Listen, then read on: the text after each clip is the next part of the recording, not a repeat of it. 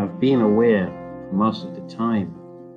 If you are a carer, then you can't decline. It's just the mental health stigma that stops me, a language that's difficult to define. I don't want to embarrass anyone. It would not be fair. When I explain my daughter's symptoms, it's all up in the air. It's just I don't want to use the language discrimination because I know what I say would cause her despair. Mental illness causes her to struggle. How I approach her because my words are muddled. The idea of what I say causes so much shame. I best keep my mouth shut or cause so much trouble. Yet still I have to go out and try. If she gets no help, she'll break down and cry. Handling how I speak to her can cause so much stigma.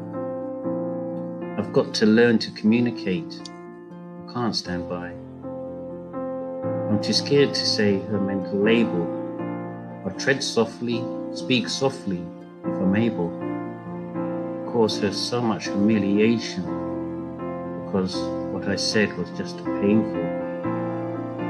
I speak to other carers on how they cope and how to speak to your loved ones, give them hope. As her father, I'm always pulling my hair because can I find those kind words? I'm sorry. Nope.